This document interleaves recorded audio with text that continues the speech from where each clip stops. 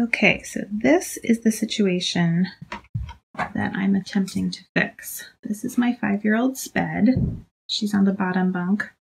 Her sister, who's eight, is on the top bunk.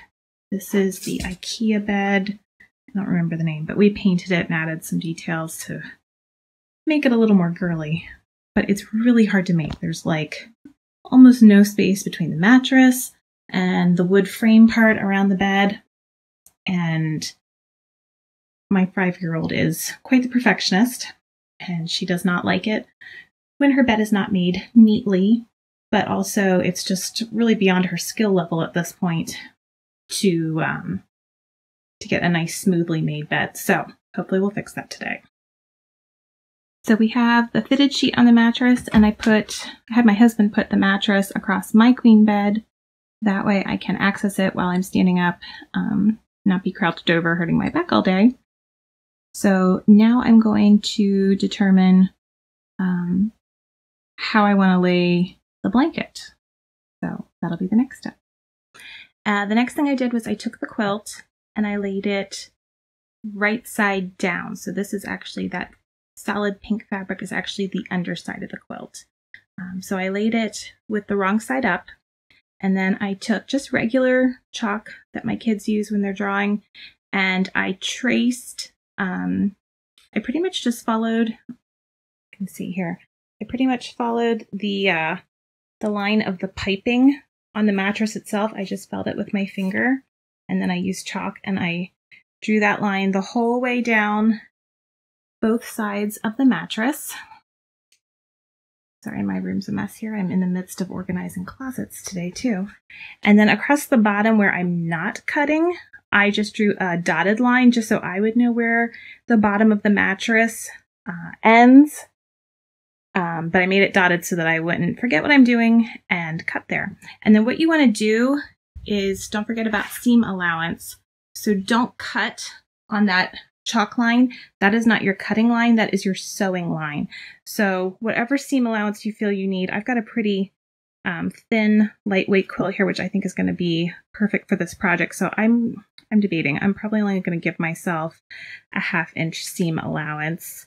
Um, if I had bought this blanket with this project in mind, I probably would have gotten a full size quilt rather than a twin size. That way I would have extra um, material to play with. But since I don't, I don't want to make my seam allowances too generous here. So I'm thinking probably just a half inch seam allowance. So I'm going to cut a half an inch outside of that white chalk line from the head of the bed here all the way down to the foot of the bed and stop. And then I'm going to do the same thing. I have a chalk line well, yeah, I'm tripping over the stuff I need to organize here.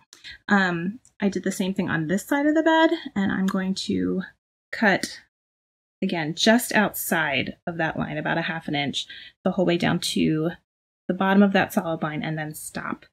And then I'm going to pin my seams together. But first, I'm going to make my cuts and hopefully not accidentally cut the fitted sheet or the mattress underneath. And then I'll show you I'm going to pin, and I think I'm going to add a ruffle as well to hide the zipper later. So that's the next step. Okay, so I cut down the side of the mattress just about a half inch outside of my chalk line. Um, and I have some really great scissors that I wanted to show you in case you're thinking, what kind of scissors should I use to cut through a quilt? I have had these for oh my goodness, 17, 18 years. I don't think I've ever had them sharpened, maybe once during that time, but I also only use them for fabric. So um, if you want to keep your sewing scissors nice and sharp, don't use them on paper, don't use them on even batting. Um, there's a little bit of batting in this, but I think it's cotton batting. I think it's cotton batting, which is hopefully a little better. But um, anyway, these are Fiskars razor edged. You can probably get them on Amazon or at Joann's. And they are spring loaded. So try and do this. You pull back here and they pop open and you go like this when you want to cut.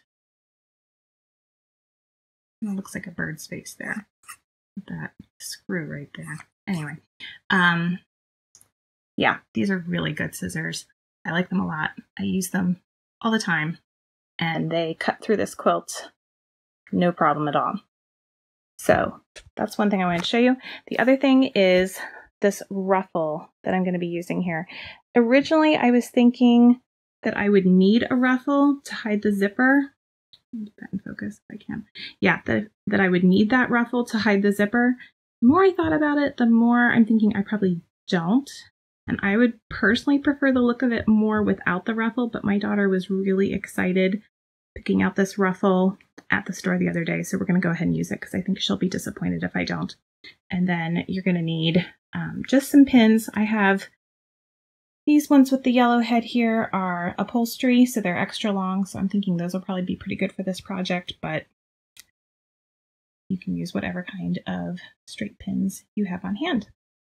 So now I'm going to take this part here and this part and I am going to insert the ruffle in between the layers. I have to stop and think for a minute to make sure that I don't pin it the wrong way. So once I figure that out, I will show you. And then I'm going to pin it together um, without the zipper at this point so that I know exactly where to sew. And after I have sewn down the length of it, securing the, the ruffle in place, then I will show you how, um, well, I think I'll go on to the next step yet. I don't think I'm going to do the zipper right away. But anyway, I'm going to pin the ruffle in place, pin this seam together, and then I'll show you what I do next. Okay, so I pinned the ruffle and I changed my plan slightly and I decided to, I'm going to sew the ruffle on to um, the top of the bedspread first before attaching the side piece. I tried pinning it all together because that would be possible, but this piece kept stretching and my pieces weren't lining up to be the same length, even though they are the same length because they were all cut from the same bedspread. But it's possible that I might have to do like a little fudging here and there to make this piece match up perfectly with this piece. And I just decided I didn't want to have a ruffle in the way while I was trying to figure that out. So I'm going to go ahead and sew the ruffle to the top. I have the right side of the ruffle and the right side of the quilt facing each other. And then I also folded over the edge of the ruffle so that I'm getting a little bit of like a miter corner here. That way you don't see the raw edges. Did I put those? The raw edges from, um, yeah, there's the raw edges of the top of the ruffle. They'll now be neatly tucked inside the seam so you don't have to worry about those pieces fraying and being visible in your finished product. So now I'm going to go ahead and I will sew that ruffle the whole way down to the bottom on each side, and then I will attach the side piece to the bedspread. Okay, so I am now sewing the ruffle onto the top portion of my bedspread, and I probably should have pinned on the other side so that the pins were on this side. So now I'm just going to reach under and pull out my pins as I go, but that should work okay. I really wanted to sew on my chalk line just to make sure that I got the ruffle on really nice and straight.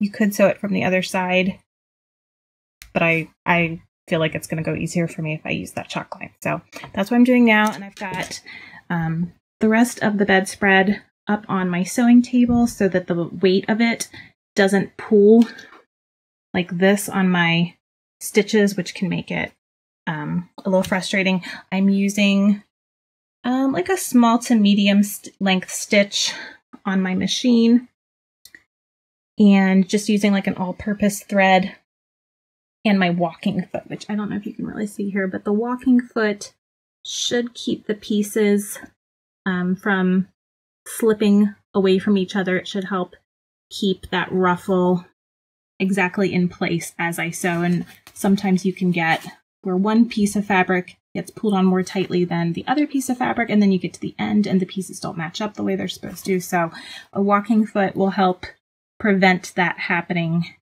And hopefully, hopefully that all works out okay. We'll see.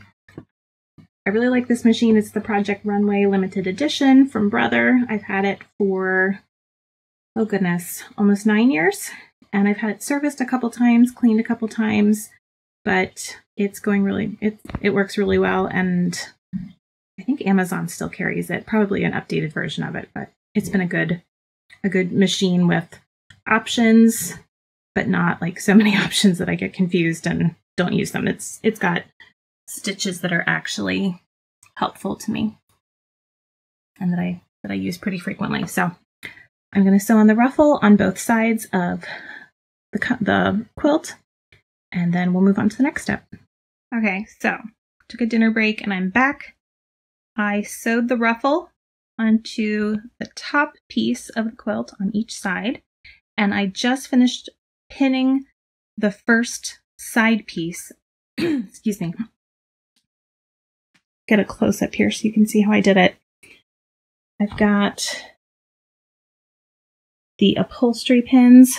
If you can see from the side here, I basically can made a, a quilt sandwich. The right right sides of the quilt are together, and then this ruffle, which I think is really optional. Um, the right side of the ruffle is facing the top piece of the quilt. So I pinned it the whole way down. And I think when I sew it, I'm going to make sure that I start at the top of the blanket and sew down to the end because this side piece here, because it no longer has any bias tape holding it together, it keeps wanting to stretch on me. And I think there's a possibility hopefully not, but when I get to the end, um, I may have to do a little bit of fiddling to make it um, meet up. And I'd rather have that be at the bottom where I'm going to hide it when I sew the corner later than to have it up at the top and have the side piece potentially coming up higher than the top piece. So that's what I'm going to do there. I'm going to sew it and then after I've sewed this side and the other side, then I will show you how I'm going to add the zipper. Okay, so I'm getting ready to start sewing my top piece of the quilt to the first side piece with that ruffle sandwiched in between. And this time I'm going to be using a much larger basting stitch. On my machine, I've got it set at um, 5, which is my longest stitch length.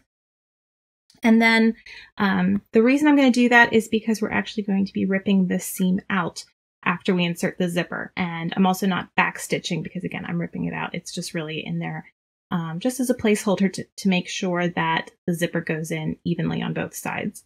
So I'm going to sew on that chalk line again that I had sewn. In fact, I really don't even need to worry about seeing, if I can focus. I don't even need to worry about that chalk line anymore because I already have um, a stitch line. You can see it right there from where I attached the ruffle earlier. So I'm just going to go on top of that same um, line of stitching as I used when I attached the ruffle. And then that um, the seam we're putting in right now will get ripped out later. So I'm not I'm not too worried about it looking particular. Just want it to be even. Another little tip. Um, in this situation, I kind of worked myself into a predicament where I wanted to sew on top of that stitch line that I had made. Like I showed you before from where I attached the ruffle, but this time if I wanted to do that starting at the top of my quilt down to the bottom of the quilt, I would have to have the bulky side of my blanket right here where um, the base of my sewing machine is, and so I don't have all of that free space to just let it hang off to the side. So in that case, um, when you have a situation like that, take your blanket or whatever it is you're sewing and roll it tightly like a hot dog or like a Swiss roll, and then it should fit, hopefully, through um, the empty space uh, beneath the arm of your machine. So, or I don't know if that's called the arm, but whatever this part is up here, you should be able to fit it through this opening. Unless you have a long arm machine, which would be wonderful, but I don't. So this will um, let me let me sew, but still see my stitch line from earlier. Okay, so I have the side pieces sewn to the top piece with the ruffle in between. And this is exciting. I can kind of see what the finished product is going to look like. I still need to add the zippers. I need to come around down here on the end and I'm going to um, take the excess fabric out of the corner. And so that, see if I can do this with one hand, I'm going to sew, pull it like this and then sew down this line right here, but I'll do that later. Um, the next thing I want to do is add the zippers. And I'm kind of fiddling with it right now to see exactly how I want to do that. I've got this long zipper. It's ivory colored. That was the only color I could find in a 72 inch zipper. I probably could have gone with a 60 inch. It wouldn't have come the whole way to the end of the bed. It would have come within about 10 or 12 inches. But um, for the price, it was actually cheaper to get the 72 inch one. So I have, um, I think this is considered an upholstery zipper. The package of the other one because I had it. I have two. It's from Dritz, and it's a nylon zipper, I believe. And it is attached on the end. It's not like the kind of unattached zipper that you would use for a coat. Um, this one stays closed at the bottom, which is what I wanted. You could also buy zipper by the yard, but I've never used that before and I didn't want to try for the first time with this big of a project, just in case there was any learning curve involved. So I just went ahead and bought this from Amazon. It was actually a pack of two, which was perfect. And so I'm going to take the underside here, if I can do this with one hand while I talk and film. But what I'm going to do is open my seam, and I have to fiddle with it a little. Oh, there's a pin in there. I have to fiddle with it a little bit to make sure that I have the ruffling the right way so that that doesn't get in the way. Actually, my mom's here today, and I had her come upstairs and look at this to tell me that I was doing it right because I was staring at it so much I wasn't even sure what I was doing anymore. So what I'm going to do though, this is the top of the blanket right here. I'm going to open my seam and I'm going to lay my zipper down the middle of that open seam.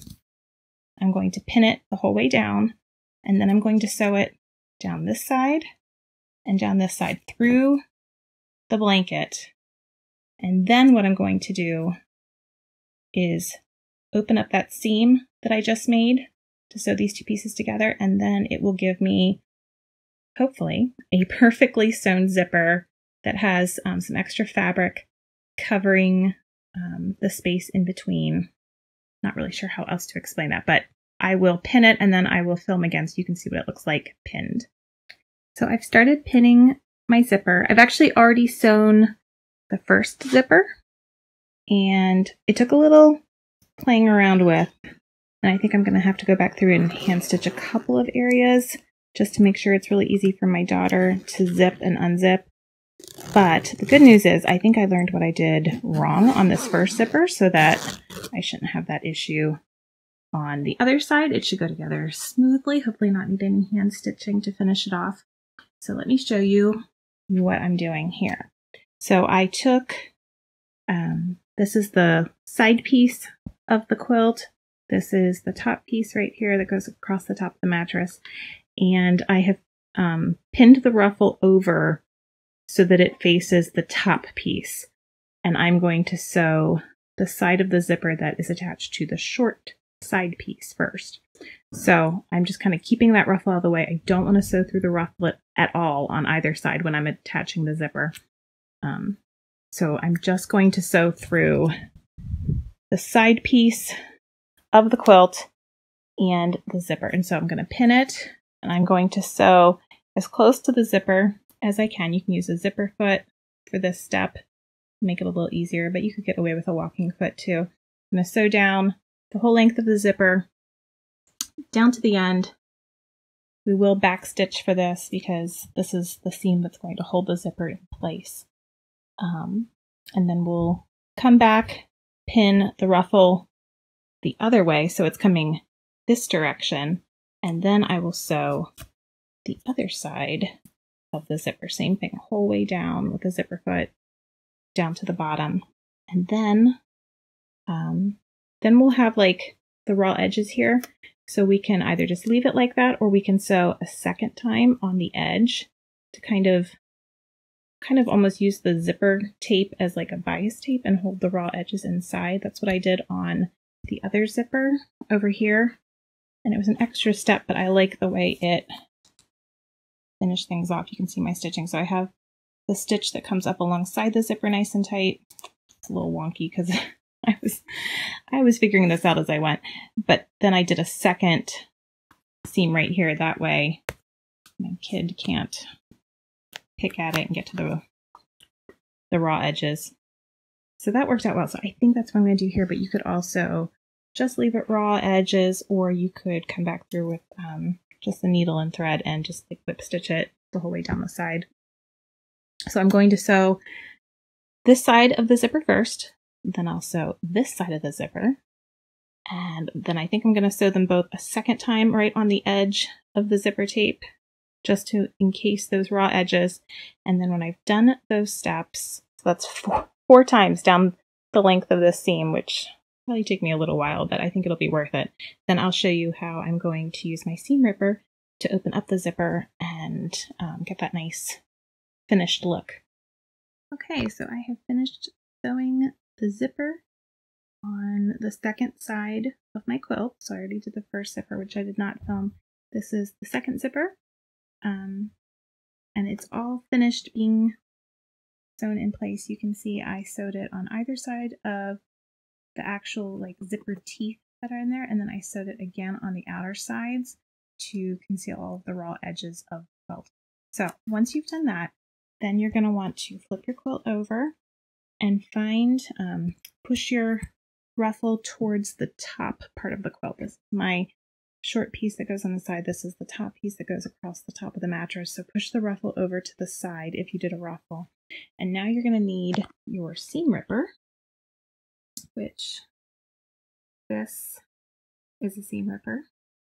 And right there in the curve of the J part, it is sharp like a little knife. So we're going to do see if I can do this with one hand. You want to find, you can see my basting stitch is already split up a little bit here at the top, but you see those, let's see if I can focus better, see those threads that are holding it together? We want to rip those with the seam ripper. So, sorry, this is really awkward. I'm going to go like this. Rip through those threads, being careful not to rip the quilt itself. And that will start to open up the zipper. Okay, so once you do that, then we'll be able to zip our zipper. So I'm going to go ahead and do that not filming because apparently it takes two hands. I can't do it with just one hand. And then I will show you the finished product. So yay! Both zippers are in. Um, I used the seam ripper to basically free both of the zippers so they're not um, hidden behind that basting stitch. So now, look, see if I can do it with one hand. Hopefully. Not it from this side. So look, this is how easy it's going to be to make the bed. Yay! So, I have a couple more steps I still need to do. I'm really glad those zippers are in. The ruffle definitely added an extra step, so I think I'll be leaving that out next time if I can. So now what I'm going to do is I'm going to turn the quilt over and figure out how I want to do these corners here at the bottom. I'll get those sewn. And then after that, I'm going to lay things out one more time and sandwich the flat sheet between the quilt and the fitted sheet. And then I'll figure out how I'm going to attach all three, which is the one part of this process that I'm not really sure how I'm going to do it. I have some ideas, but I'm going to have to play around with it a little bit. But there's a way. There's always a way. So that's what I'm doing next. Okay, so I have laid out the quilt again on the mattress and I flipped it over so that the right side is facing down on the mattress and the underside of the quilt is facing up. And I am marking my corners here. So I've got this extra fabric and I thought about just kind of like wrapping it around and tacking it in place, but then I just decided to go go all out. Why not, right? And just mark with these pins and then I also drew a chalk line Um, and that's where I'm going to be sewing. And then after I sew it, then I'm going to cut the excess off, probably about half an inch to an inch outside of my sewing line. But I just want to sew it first, make sure that I do it right before I go cutting away the extra. Um, so I'm going to do that on both of the end, the bottom corners here. I have the other one marked as well. And then we'll move on to sandwiching in that flat sheet. Okay, I'm excited because it's time to add the flat sheet. So I've got the fitted sheet still on the mattress. I laid out the flat sheet, the top is wrinkled, so it doesn't look even, but it is actually even. Um, make sure that you have the same amount of sheet on either side of the mattress. And then what I did was I decided to kind of do like a, a pleat here on the end. Thought about um, gathering it like a ruffle across the bottom to get all of that extra width um, to fit across just the top edge of the mattress. But it would be an extra step, and I don't know if it would lay as smoothly. So instead, I folded it over. I took the edge of the top sheet and I pinned it to the top corner of the mattress. Then I did the same thing over here on the other side. And then I held it from the middle the whole way up. And that was how I just kind of loosely determined two pleats. They're not exact, but no one's going to see them, so that's fine. And that way you still have the full width of the sheet. So when you do unzip the blanket at night and sleep, um, the sheet is is wide enough to go over a body and still come down to the sides. Um, so I decided to do that instead of trimming the sheet. So I felt like this is going to make for a more comfortable blanket to sleep with. So now I'm going to lay the quilt over top and I'm going to very carefully pin through the quilt, through the top sheet, and through the fitted sheet being careful not to pin onto the mattress. So that might take me a few minutes. I'm going to do that and then I'm going to sew through all three layers right there across the bottom of the bed. Okay, so I still have the flat sheet laying on top of the mattress like I had just showed you and I went ahead and laid the quilt on top of that. I was all set to start pinning the bottom here so that I can sew a line right here. And then the more I started thinking about it, the more I decided I it's just getting really bulky at this point because it's three layers and it's it's big. And the more I don't know about you, but when I sew with something that has a lot of layers and a lot of pins, I get poked a lot by the pins. So I think instead what I'm going to do is just take some time and hand baste these layers together because I need to sew across here but then the next step is going to be to sew all the way along here too. So what I'm thinking is maybe I'll just baste just underneath the zipper all the way down here, all the way across here, and then underneath the zipper on the other side. And then I also need to come back so that this extra quilt um, the side piece is not just like a flap hanging. I want it to be um, connected to the fitted sheet underneath. I'm going to tuck the flat sheet up so that it's not in the way. Um, that's still going to be free. It's only going to be, the flat sheet's only going to be attached here at the bottom. But I'm going to come back and sew the bottom edge of the quilt to the fitted sheet only the whole way across the bottom too um, just so that it's easy to take on and off and I don't have to tuck in that side piece when I'm doing it. So what I think I'm going to do is just take some time here, get some, probably some dark thread because this will get ripped out later. That'll make it easier to see. And I'm going to hand baste the whole way underneath the zipper around the mattress, across the sheets at the bottom, all the way up the other side of the mattress. And then I'm going to do a second line down the bottom edge of the quilt, across the very base of the mattress, and then up the other side as well. And then I will take it to my sewing machine and sew on my basting uh, line But that way, that way I can juggle all of this big, very bulky. It's like a laundry basket full of of blankets at this point. Um, and if I do that with pins, I, I'm going to regret it and I'm going to bleed. So I'm going to do basting. And I think that's going to make it, um, it'll still do the same job as the pins. It'll keep the layers from shifting while I'm sewing, but it will make it a little easier on me, even though it might take a little more time than pinning it right now. But um, of course, when you're doing this step, just you probably want to take your hand and put it um, up underneath the fitted sheet or put a piece of cardboard underneath the fitted sheet so that you don't baste or pin to the mattress. You want to go through the layers of fabric, but you don't want to go through um, the mattress, obviously. And like I said, I'm gonna I'm gonna leave the fitted the flat sheet, sorry, the flat sheet attached at the bottom, but I'm not I don't want it attached to the quilt or the fitted sheet anywhere else. So I'm gonna tuck that up in here like that so that when I do sew right here, I'm connecting it just to the fitted sheet.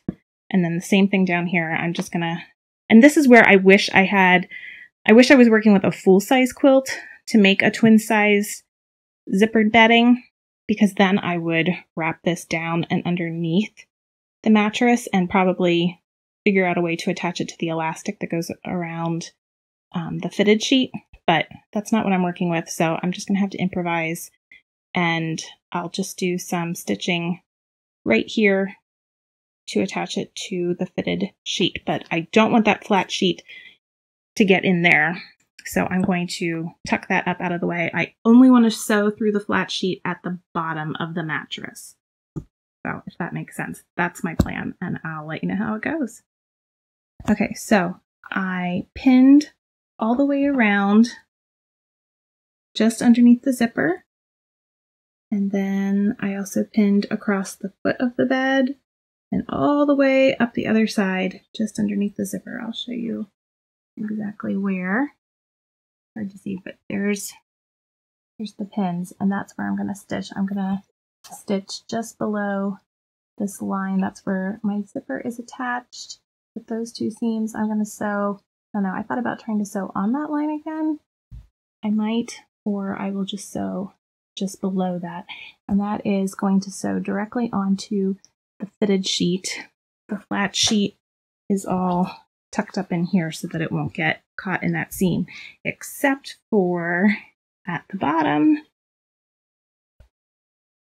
I'll be sewing, you can see my pins right here. I'll be sewing straight across the bottom at the foot of the bed, and I do have the flat sheet, the end of the flat sheet um, sandwiched in between the quilt and the fitted sheet right there. In fact, you can even see it hanging down there um, at the bottom. So that's what I'm going to do next. I'm going to sew all the way around from here, down across the bottom, and up the other side. And then I'll probably put it back on the bed, make sure everything lines up. And then the last step will be to sew all the way down around the bottom edge of the quilt, across the bottom of the bed, and up the other side, um, just to make it one um, complete, I don't know, unit. So that it should be. I think I think doing that bottom seam, it, you could probably skip it, but I think it will make um, it easier to just for me to put everything on and off the bed when I'm changing the sheets. So that's the next step just for a quick second here, I want to show you how much fabric it is when you're sewing the final steps of this process together. I've got the quilt, the flat sheet, the fitted sheet, all together there on my machine. I've already sewn down one of the long sides. I'm almost done sewing across the very bottom of the quilt at the foot of the bed, and then I will turn around the corner and go up the last side and I made sure um, I started at, like if you were looking at the bed from the ceiling, looking down at it, I started on the right hand side. That way, again, all the short ends are on this side of the machine and all of the, the larger, um, bulkier pieces are on this side, uh, just to make it a little easier. Okay, I am at the last step in the process. I am so excited.